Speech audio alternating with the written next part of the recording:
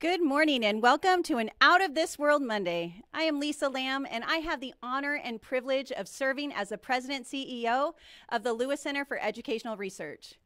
Today is a milestone day at the Lewis Center. It is the first time that we have ever attempted to join our schools, the Academy for Academic Excellence in Apple Valley and Norton Science and Language Academy in San Bernardino, together in a single learning event this morning, we have 116 classrooms with approximately 2,500 students in grades transitional kindergarten through 12th grade and over 300 staff members tuning in live.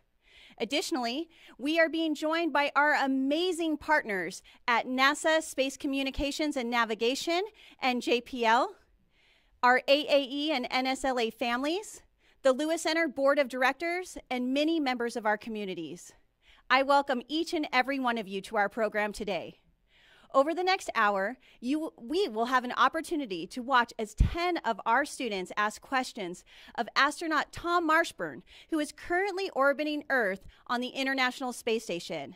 And if that is not spectacular enough, we will then have the opportunity to zoom in live with retired astronaut Dan Tani to learn more about life on the International Space Station and about his personal experiences working for NASA and traveling to space. Here at the Lewis Center, we are afforded some pretty amazing learning opportunities. However, there are not many students, or adults for that matter, who have an opportunity to talk to an astronaut in space or spend time with an astronaut who has been on three shuttle missions. Now it is time for us all to settle in, free ourselves from distraction or other work at hand, and enjoy the conversations we are about to have.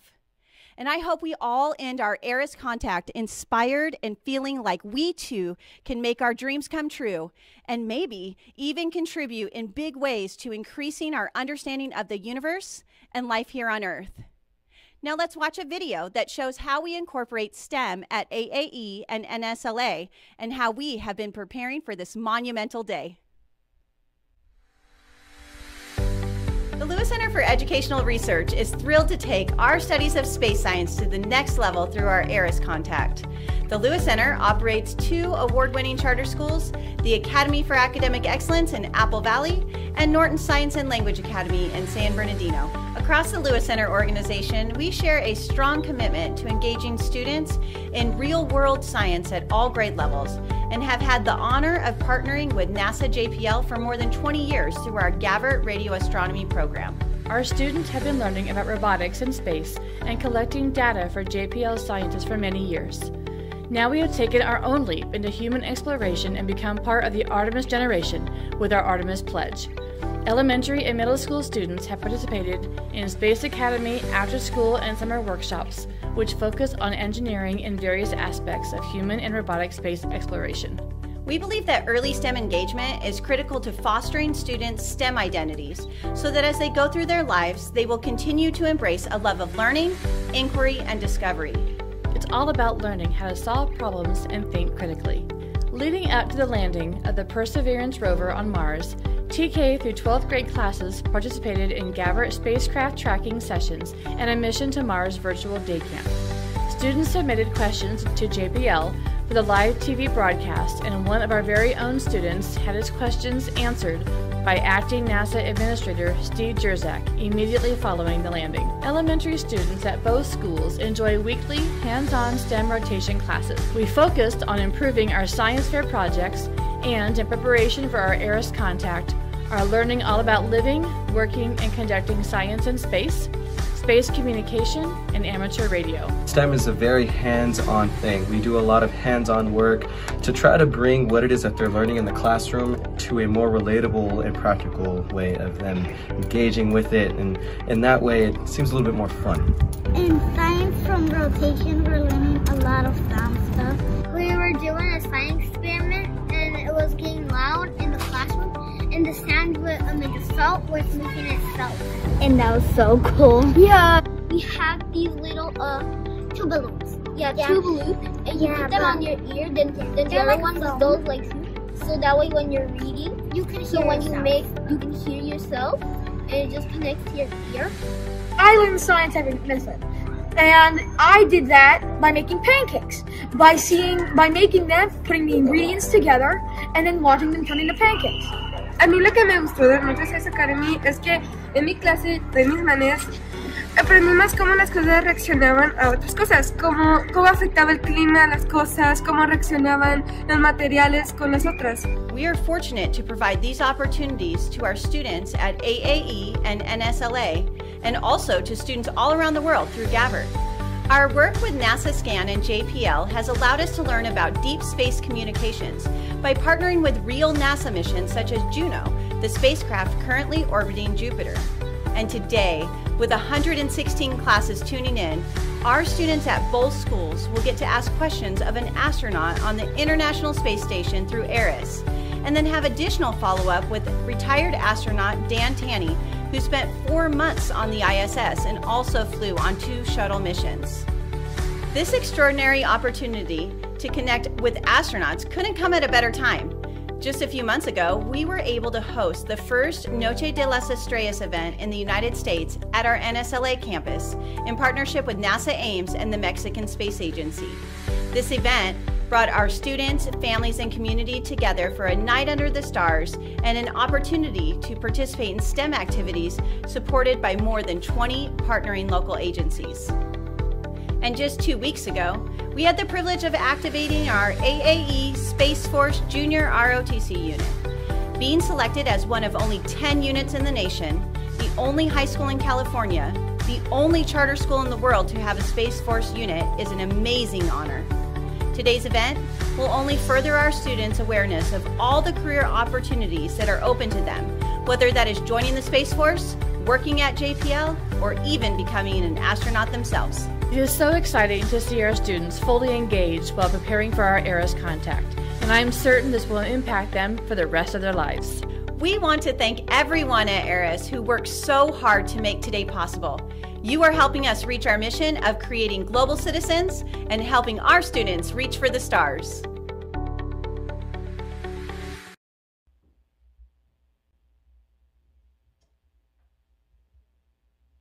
Hello, everyone. I'm Frank Bauer, and I'll be your amateur radio moderator for today's exciting contact with astronaut Tom Marshburn on the International Space Station, also known as ISS. My amateur radio call sign is KA3HDO. I'm the USA Executive Director and International Chair of ARISS, Amateur Radio on the International Space Station. ARISS is an international program supported by amateur radio operators from around the world. Some member organizations of ARISS include the American Radio Relay League in the United States, the worldwide AMSAT, or Radio Amateur Satellite Corporations, and our space agency partners, which include the Canadian Space Agency, the European Space Agency, the Japan Aerospace Exploration Agency, or JAXA, the National Aeronautics and Space Administration, or NASA, and Russia, Russia's Roscosmos. Through the help of ARISS amateur volunteers and the crew of the ISS, we hope to soon establish an amateur radio contact with the International Space Station as it flies more than 200 miles above the Earth at 17,500 miles an hour over the Baltimore, Washington, D.C. area. This contact will be performed using the ARISS Telebridge Network, a worldwide network of amateur radio satellite ground stations that enable students to talk to the astronauts on board the ISS. The amateur radio ground station that will establish contact with the ISS today is, has the call sign K6DUE and is located at the NASA Goddard Space Flight Center in Greenbelt, Maryland. Ken McCoy, N3FZX, will be the lead operator of the K6DUE Telebridge station today. Ken, tell us a little bit about the K6DUE station and how you'll handle today's contact with the ISS.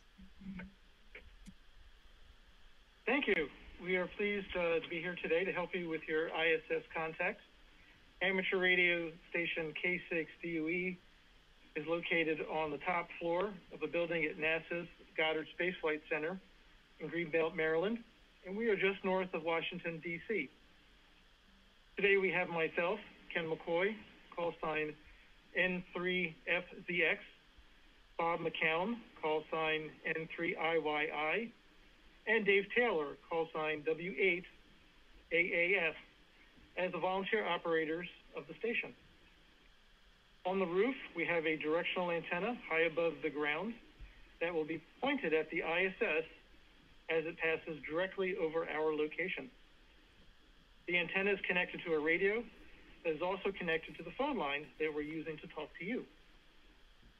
We use a computer running satellite tracking software to tell us where the ISS is. It steers the antenna to maintain a good, maintain a good signal for the duration of the path, and it controls the radio to compensate for Doppler shift. The operator here at K6DUE will control our radio's transmit and receive modes, while the astronaut controls the radio on the ISS. Only one station can talk at a time while the other listens.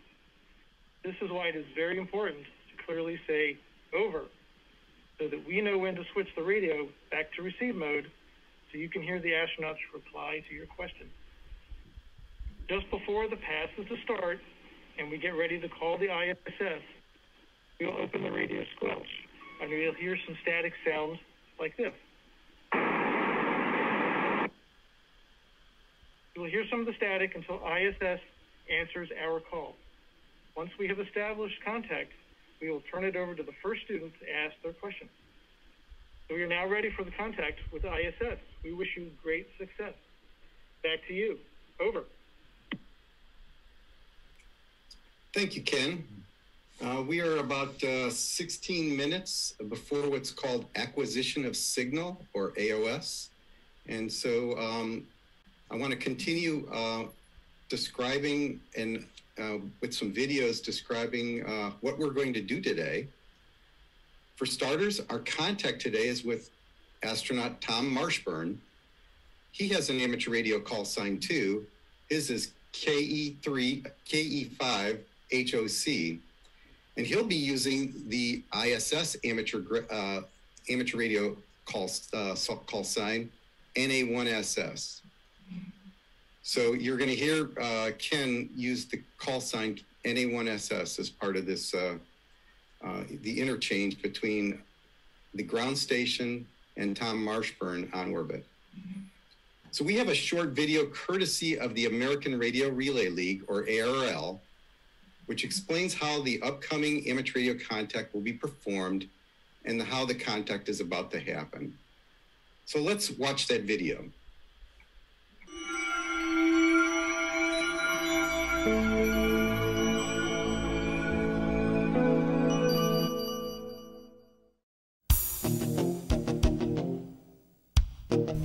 Hi, my name is Ruth. And my name is Chris. You must be pretty excited to talk directly with astronauts on the International Space Station today. While we're waiting for the space station to come over your portion of the sky, let's talk a little bit about how it's going to happen. Of course, Mission Control is in contact with astronauts all the time using a big radio with lots of fancy equipment. However, we're going to be using something very different today. We are going to use ham or amateur radio to talk directly to the International Space Station. When most people hear the word radio, they think of a music radio station. But it's so much more than that. Radio actually refers to the unseen energy that transmits all sorts of signals using electromagnetic waves. At first, people learned how to send signals like Morse code.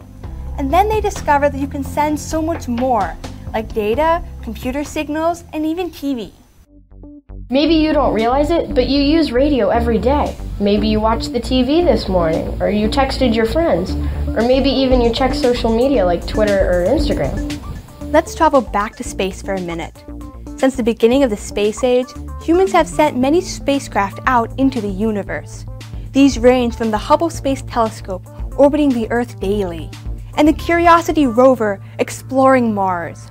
We've even sent a long distance messenger, the Voyager 1, who has traveled outside of our solar system. Whether it's capturing a great picture of a far off galaxy or conducting experiments on the space station, Radio has to do with all of these. And today, you're going to be using ham radio. Now, you might be wondering, what exactly is ham radio? Amateur or ham radio is a service and a hobby where operators can talk with people around their neighborhoods, their cities, their country, and even around the world. Amateur radio operators require a radio license from the government. They're not that hard to get. I have one. My call sign is KM4LAO. And mine is KD8YVJ. Our call signs are a way of identifying who we are to other operators.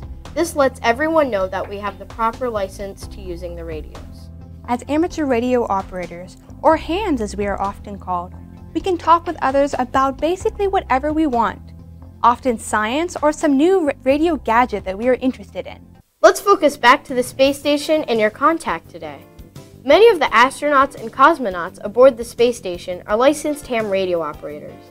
That's why your operators today can contact them. The people here, as well as the astronauts, are licensed to talk to each other, and you are allowed to talk over to their radio. For our conversation today, we'll need an amateur radio station on the ground, either in this location or somewhere else around the world. We'll also need a radio in the space station. NA1SS, NA1SS. You can hear the calls come. This is November Alpha 1 Sierra Sierra, the International Space Station, over. On the space station, the radio transceiver is connected to an amateur radio antenna mounted on the outside. One of these antennas will be used today during our contact. For our side of the contact, we need a good sized antenna, a signal amplifier, something to make our signal stronger, and a rotator for turning our antenna. We have to keep our antenna pointed right at the International Space Station. And remember, it's moving across the sky and fast. To aim the antenna properly, we need to track the path of the space station exactly. NASA uses complex systems to track the path of the space station and other orbiting objects. The satellite tracking program we are using works out a complicated set of mathematics to provide the orbital location of the space station moment by moment as it moves through space. This information is sent to the computer that controls the antenna rotator, which moves the antenna to follow the space station. Maybe some of you have seen or worked with robotics. That's pretty cool stuff. And just like you can program a robot where to go, what to do, and how to get there, you can also program a computer to tell an antenna how to track the space station across the sky. You know, it took a lot of planning to get this contact. Several weeks ago, the ARISS operations team had to figure out when the space station's orbit would pass over this location. Then, they had to talk with the planners at NASA's Johnson Space Center. The crew's time is pretty full, so they were able to find a time that could work for the crew members' schedules. Once they found times that would work both in space and here on the ground, the host organized this contact. And in just a few minutes, you'll be hearing and talking to the astronauts. Well, it's almost time for your contact. It will be exciting, so good luck with it.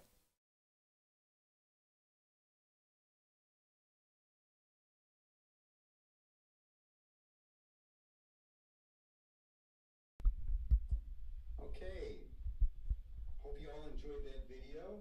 Let me uh, give you a status update. We are about 10 minutes before scheduled acquisition of signal with the International Space Station. Right now, the International Space Station is over the South Pacific, uh, traveling from south to north uh, towards North America. It will be uh, touching the uh, Mexi- uh, Mexico and the uh, Central America area in just just a couple of minutes, and then of course going up the east coast through Florida and up the east coast to to Maryland. Okay, so you have just seen what an ARISS contact looks like from a student's perspective on the ground. Now we'll have a short video with astronaut Tim Peake, KG5 BVI, that explains an ARISS contact from an astronaut's point of view on ISS. So let's watch that video. NA1SS, this is N2SJ, over. NA2SJ from NA1SS for scheduled contact.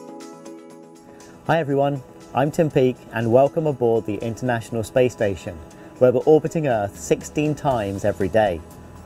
One of the most rewarding activities that some astronauts undertake on orbit is to talk to schools using the space station's ham radio. Now, these are events that are planned by ARISS, which is a worldwide group of amateur radio volunteers who are dedicated to introducing young people and students to science, technology, engineering, and mathematics. Now, this is the equipment here in the Columbus Laboratory, which consists of a handheld radio, a headset, and we also have a ham video unit.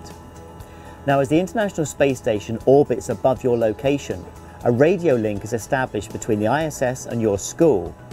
Now, because we're travelling at nearly 18,000 miles per hour, which is an incredible 25 times the speed of sound, we usually get about 9 or 10 minutes of good radio contact before losing the signal. So about 5 minutes before the scheduled start time of the contact, I come into the Columbus laboratory and configure the radio so that I'm on the correct channel. And sometimes I'll set up the ham video too. Just before the predicted time, I'll begin to start calling the school using the standard amateur radio calling techniques. For example, if the call sign of your school was GB4 Fun, I would say Golf Bravo 4, Foxtrot Uniform November. This is Golf Bravo 1 Sierra Sierra, listening and standing by. Now at your school, the radio operator will be listening for my call, but may also transmit and try to call me as well. You'll probably have a much more powerful transmitter on the ground than we have up here on board, so I'm likely to hear you before you hear me. Then, once we can hear each other, then comes the best bit, which is actually talking to the students and answering the questions. Once I've answered all the questions, we use the remaining time to say goodbye to each other and end the connection. I'll then spend a few minutes configuring the radio back into a rebroadcast mode and then I'll go back to my day job, which is of course doing science on board the International Space Station. ARISS is a brilliant opportunity for astronauts to talk to school pupils. It's really rewarding to hear how excited the students are when they're talking to somebody up here in space. And it's a true privilege to be able to inspire our next generation of scientists and engineers through amateur radio.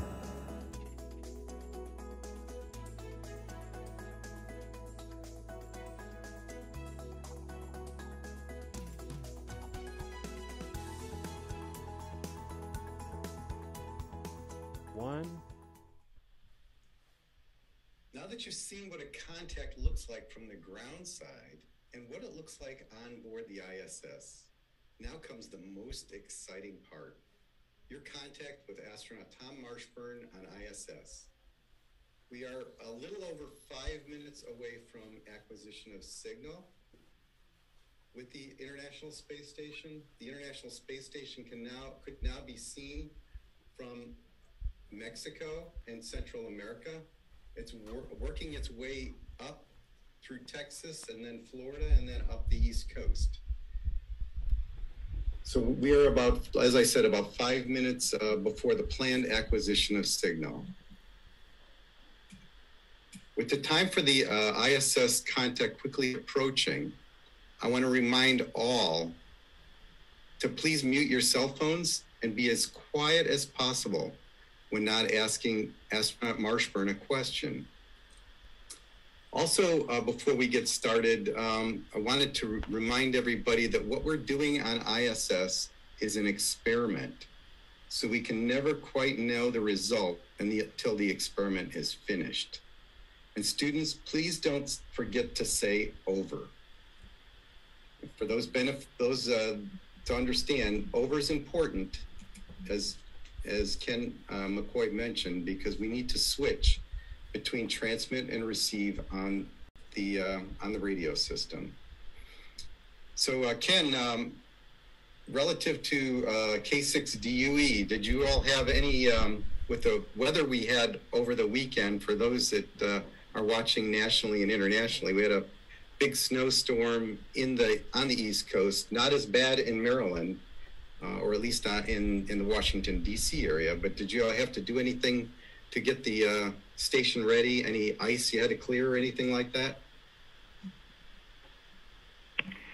We were fortunate that we only had about uh, an inch, maybe two, of snow with the storm that came through uh, Friday night into Saturday morning, and after the, uh, the storm left, we had nothing but bright sunny uh, weather, and it's pretty much melted away. So we didn't have to do anything. So we were very happy about that. Um, no, no ice on the antennas to worry about.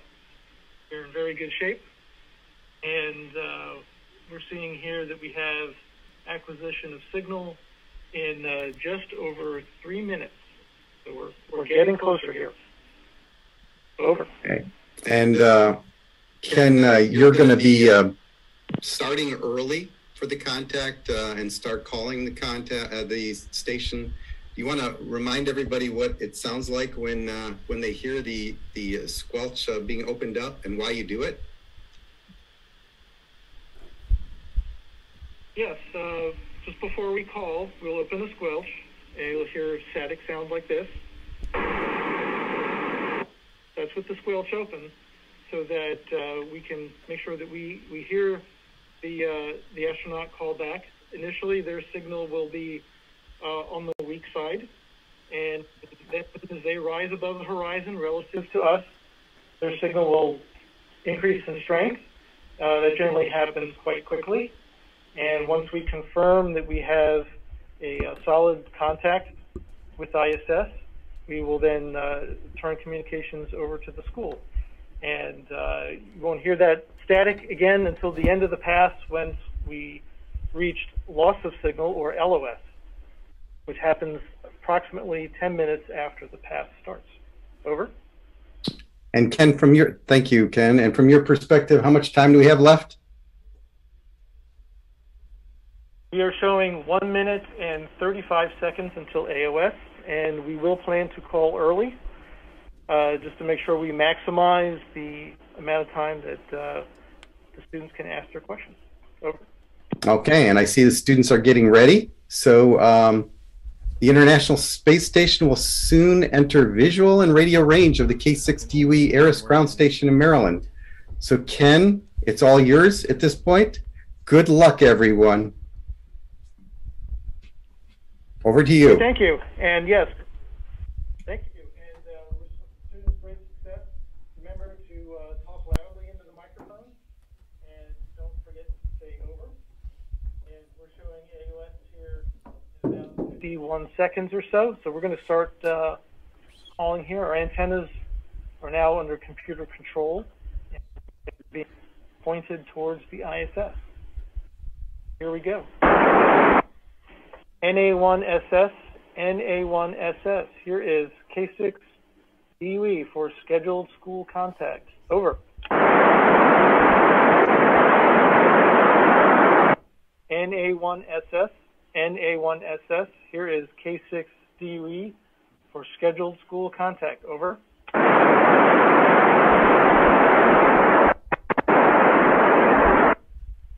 NA1SS, NA1SS. Here is K6DUE for a scheduled school contact. Over.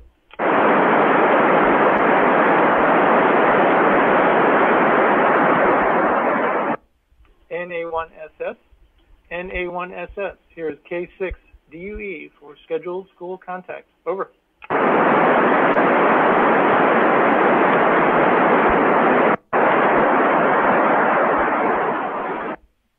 NA1SS, NA1SS. Here is K6 DUE for scheduled school contact. Over.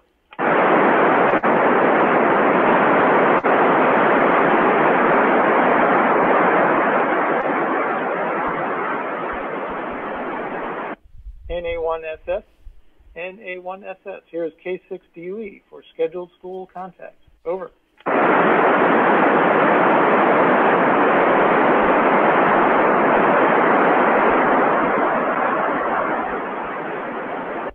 NA1SS, NA1SS. Here is K6DUE for scheduled school contact. Over.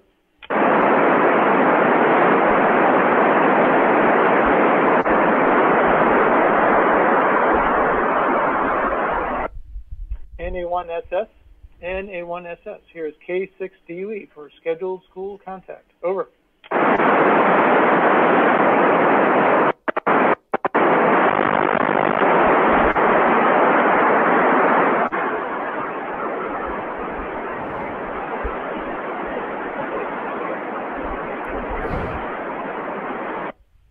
NA1SS, NA1SS from K6DUE here for scheduled school contact. Over.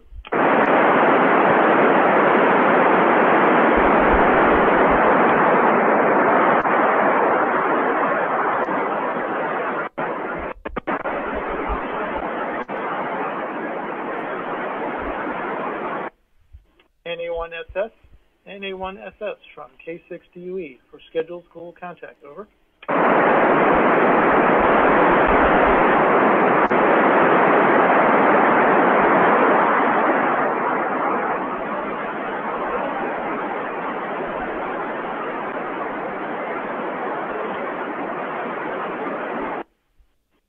Anyone SS?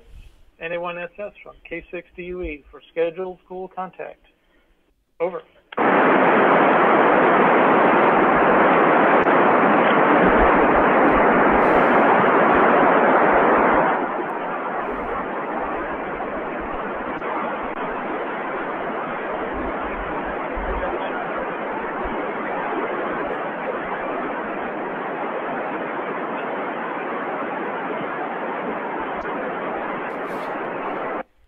NA1SS?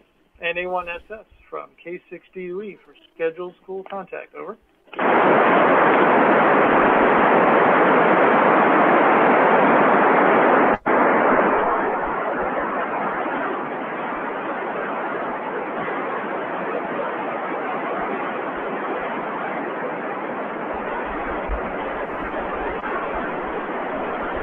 NA1SS from K6DUE? We're going to try the backup channel switching to backup channel 13, K6DUE QSY. Lewis Center, this is the International Space Station. How do you read? Uh, we copy you, NA1SS from K6DUE. How copy us? Over.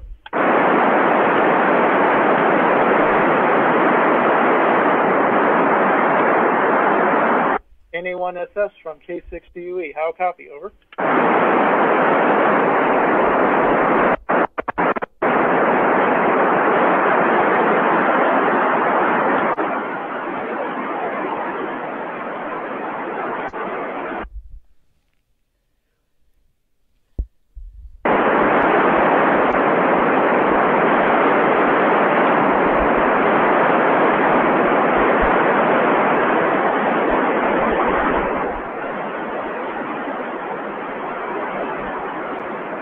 Try him again.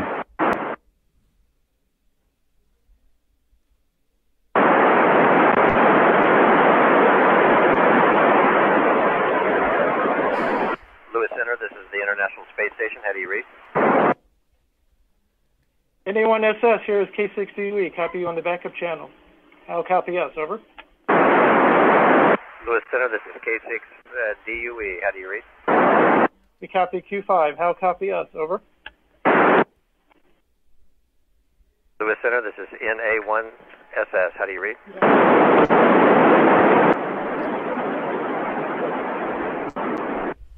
NA1SS from K6DUE. How copy? Over.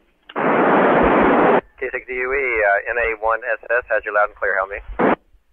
Loud and clear. Let's uh, we'll turn it over to the school. We'll go ahead with your questions. Over. I'm Mia. I'm in first grade. How do you celebrate holidays in space? Over. Hello, Mia. We celebrate the holidays in space in various ways. Sometimes we bring little gifts for each other up because we planned ahead. And we usually uh, celebrate around the table with a big meal.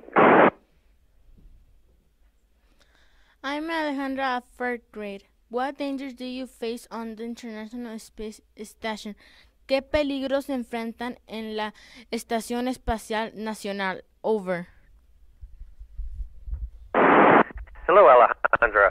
Uh, we have three big problems that could happen that we train for all the time, and that is if we get a hole in the uh, station and lose our air, if we uh, get some bad air because something leaked on the inside, and if there's a fire. Over. This is Eden. I'm in fifth grade. Does breathing feel different when you are on the space station, or does it feel about the same as breathing on Earth? Over. Hello, Eden. It feels just the same on Earth. We're at 14.7 psi, just like on Earth. Over. This is Brianna, fifth grade. If Earth food has expiration dates, how does food in space stay in good condition for several months? Over. Hello, Brianna. It actually has to stay good for years because they have to pack it in various rockets that launch from various places around the world and then be stowed on board for months up here. And they do it with heating the food and sometimes they irradiate it. Over. This is Milan, sixth grade. What is the scariest thing that happened when you were in a spacecraft launching or landing on the ISS? Over. Hello, Milan. For me, it was doing a spacewalk when I had to almost jump from one part of the space station to the other. Over. This is Miguel, seventh grade. If there is a power outage on Earth, how will that affect you? Over. Hello, Miguel. That would affect us quite a bit because then mission control could lose power, and if mission control lose power, we would not be able to communicate with them. Over. This is, this is Antonio, eighth grade. How does it feel to be able to find new discoveries to help humanity? What are some of the most recent discoveries? Over. Hello, Antonio. It feels wonderful. It's uh, one of the best parts of exploration is just making these new discoveries here in our laboratory. Uh, some of the most recent discoveries is we're uh, discovering new we're discovering how cells behave and how their genes change, and finding new medicines. Over. This is Desiree, ninth grade. What precautions would be taken if a crewmate got sick? Over. Hello, Desiree. We have some medical kits to take care of most things uh, that happen. If it got very serious, we'd be talking to the doctors on the ground, and if we had to, we'd use our spaceship like an ambulance and come back to Earth. Over. Hello, this is Tyler Izadi. Oh, sorry. This is Tyler from JROTC. What is one piece of training that has been the most useful to you? Over. All of the training, Tyler, is very essential to be up here. I think that the best is the EVA training. We have wonderful training resources on the ground for that. Over. Hello, this is Tony from JROTC. Mike Hopkins is currently the only Space Force astronaut, and he switched from United States Air Force to United States Space Force while aboard the ISS. Will there be any more Space Force astronauts, and how many? Over.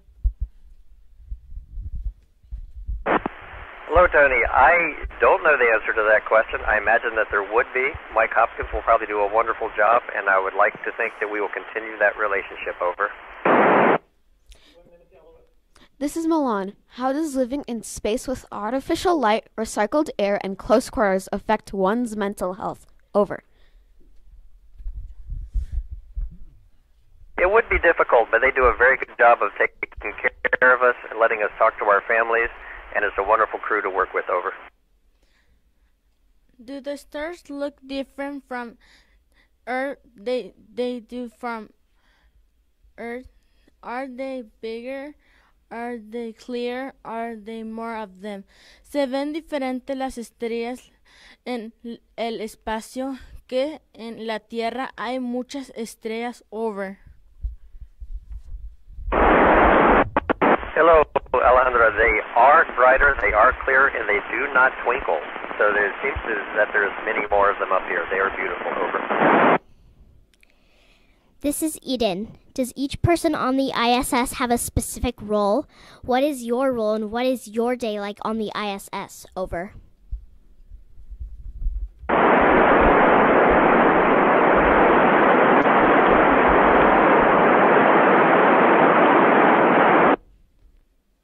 We have reached loss of signal.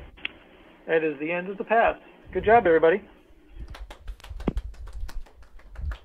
Wow, we've just uh, all been part of a phenomenal distance learning activity featuring the students from the Lewis Center for Educational Research, speaking with astronaut Tom Marshburn on the International Space Station. Congratulations, all. You did a great job. So uh, one thing I do want to say is uh, this, as I said before, this is an experiment. We never know what happens. Um, and uh, on behalf of the international volunteer teams of ARISS, including the radio amateur satellite corporations around the world, the Radio American Radio Relay League, ARRL, NASA, and the other spo- sponsoring space agencies. This is Frank Bauer, amateur radio operator KA3HDO, sending my greetings to all of you in traditional amateur radio terms. In other words, 73s, which means best wishes. So I want to turn the event back over to Lisa from the Lewis Center. Congratulations, Lisa. Congratulations, students. It was phenomenal. Thank you so much. That was such an exciting event, right, you guys? Yes. Thank you to astronaut Tom for taking time to answer our questions and to everybody behind the scenes who made this once in a lifetime event possible. So now we are ready to uh, transition to the next half of our program. And so if you are on Facebook Live, you're just going to hang tight. But if you are one of our Lewis Center classrooms, you're going to go ahead and jump on the Zoom link that was emailed to you. And we are going to prepare to hear and learn a little bit more about life on the International Space Station from retired astronaut Dan Tani. So to get us started, we're going to first start watching a video to tell us a little bit about uh, astronaut Tani's um, career.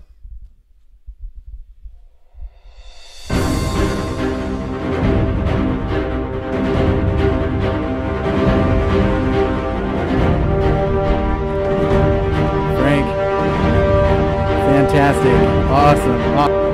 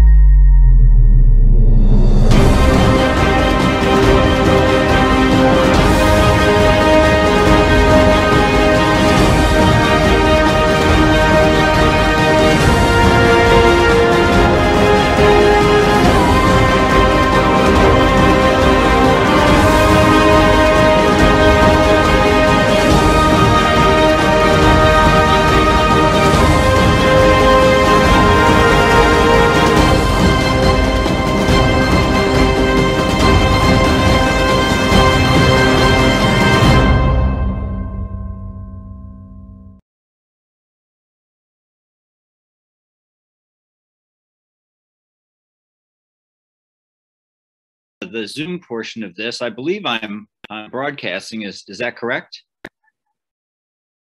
Okay, great.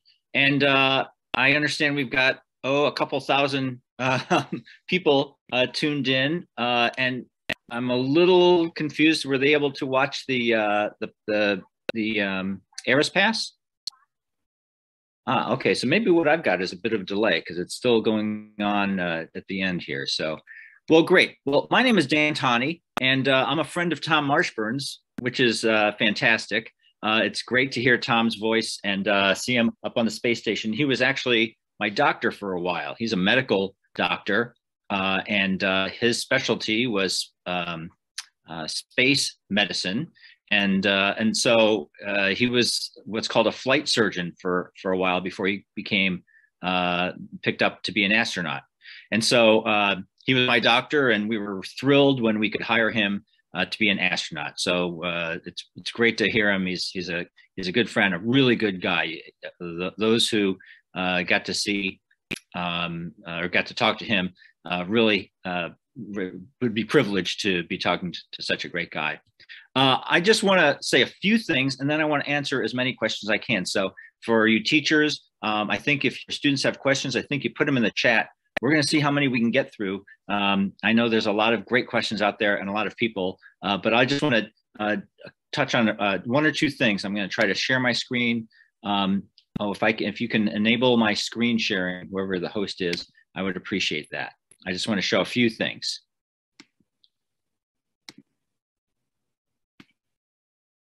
Okay, great, great, great, great.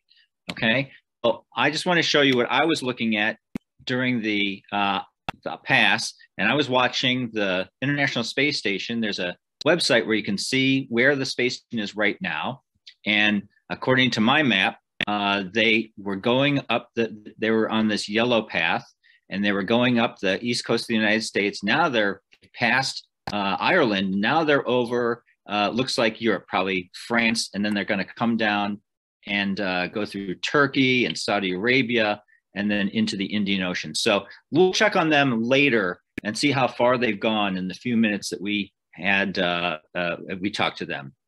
Um, I just want to tell you that I was also pleased to participate in uh, ARISS when I was up in uh, on the space station.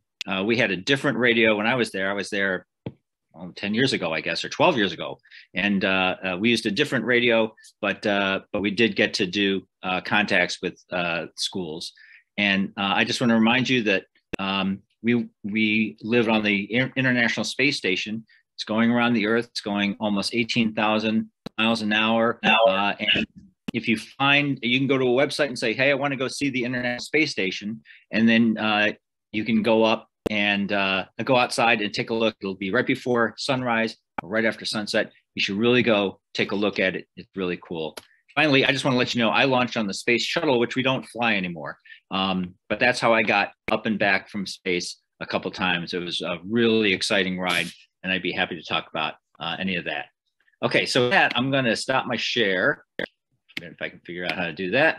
And then I want to take as many questions as we can. And uh, Eden, I saw you try to ask your question uh, to Tom. He probably heard you, but uh, it was just at the end of the pass, and so he probably didn't. Uh, you, we probably, we obviously couldn't hear the response. But why don't you ask your question again, and we'll uh, see if we can answer all the rest of the questions that were in the queue. This is Eden. Does each person on the ISS have a specific role? What is your role and what is your day like on the ISS? Over.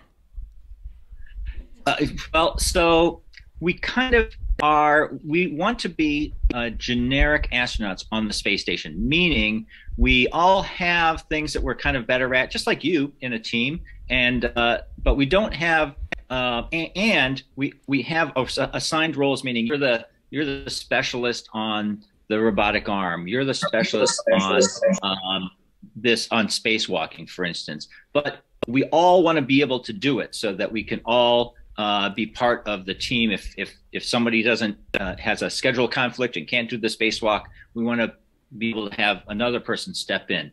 So we try to train to be all equally competent in all the things that we need to do on the space station, uh, and we are assigned kind of you're the you're the lead for spacewalking, you're the lead for robotics or science, whatever. Uh, but we all want to be able to do the same thing. Um, and I, there was another part of your question. Um, oh, and our day is we work about 12 to 14 hours in the day. It's a long work day. Uh, but uh, but in that work day, we get to exercise for a couple hours, and of course we have our meals, and and so uh, it's ev- it's different every day, which is the exciting part. We do science, we do space walk, um, and we are given a schedule every day. Here's what you're supposed to be doing right now, and so uh, it's just easy. You just follow the schedule and do what we tell you to do. This is Brianna. What do you do if the person guiding you from Earth loses connection? Over. Well, that's a great question, Brianna. It, you know, we have ground control, mission control in Houston, and there's also mission control in Moscow, uh, always watching us, always talking to us. In fact, they can command and tell the space station to twist and turn a little bit and even move up and down a little bit.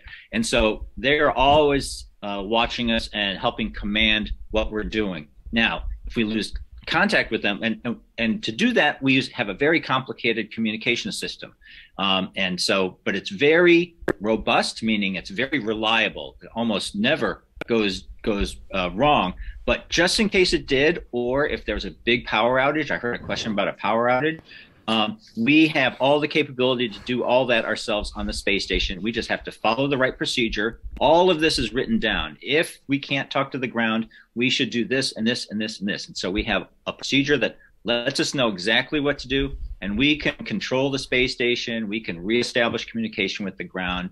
And so we are prepared to lose communication uh, if that happens. But of course, we don't want it to happen, and it rarely happens. This is this is Mia. What meal will you get first when you come back to Earth? Over. Hi, Mia.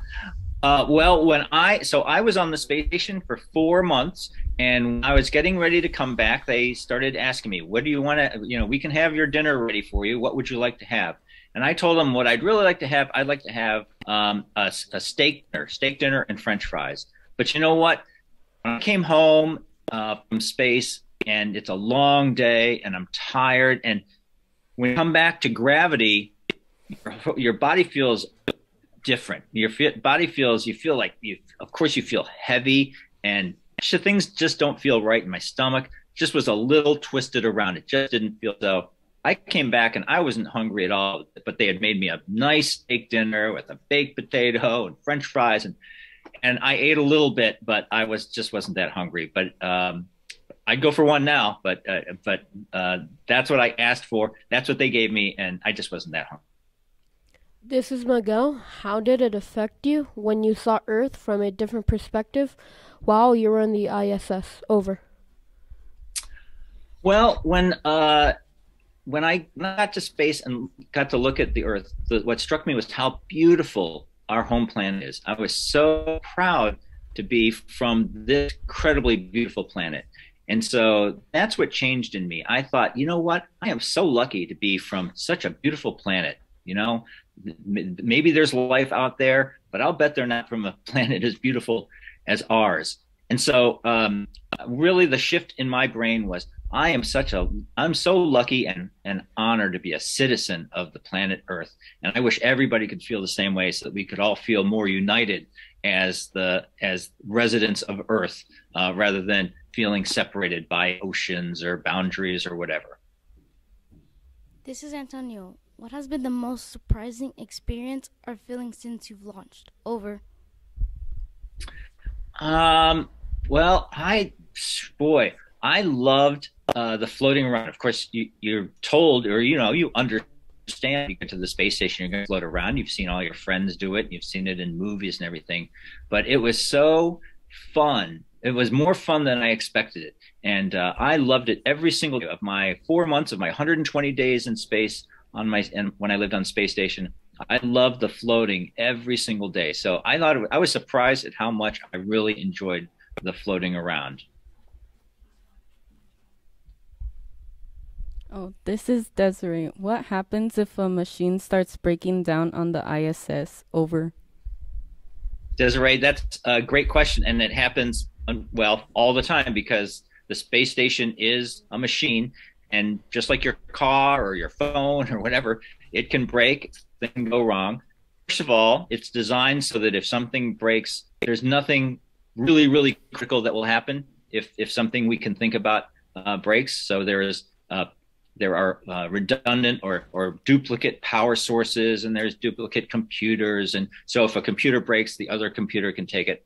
Now if something and so and if that happens we have to fix the broken computer or the broken power channel whatever. We can do that inside or maybe we have to go out and do a spacewalk and do it outside.